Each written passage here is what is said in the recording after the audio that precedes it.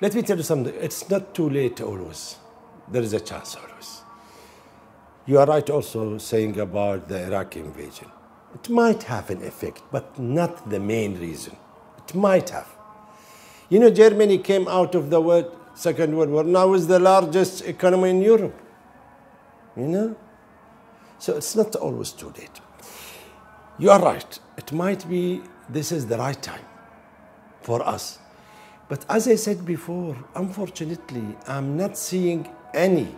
I mean, price of oil now it has what two months since it started to go down.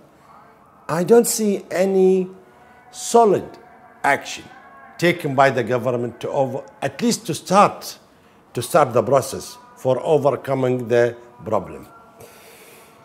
You see, the problem in Kuwait also is that what, what is the main source of income for us? Oil. So why do we have not converted oil to some petrochemical product?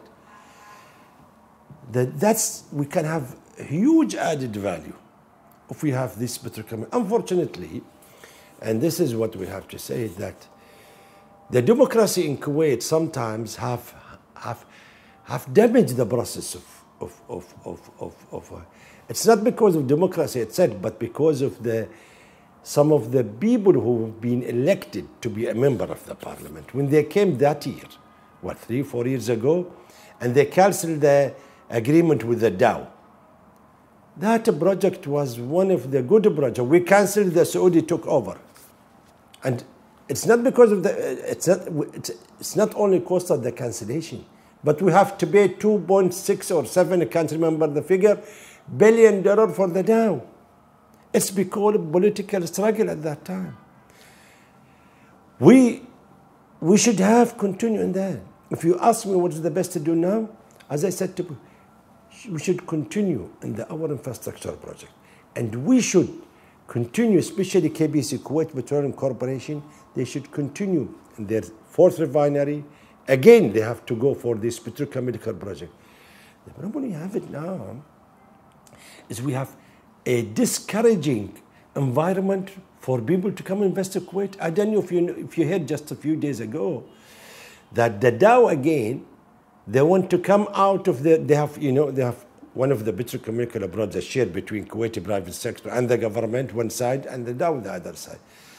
They want to sell their shares and get out of Kuwait because there is no, no kind of incentive for them to stay in Kuwait. Um, I, I, it's not too late ever. We can do it.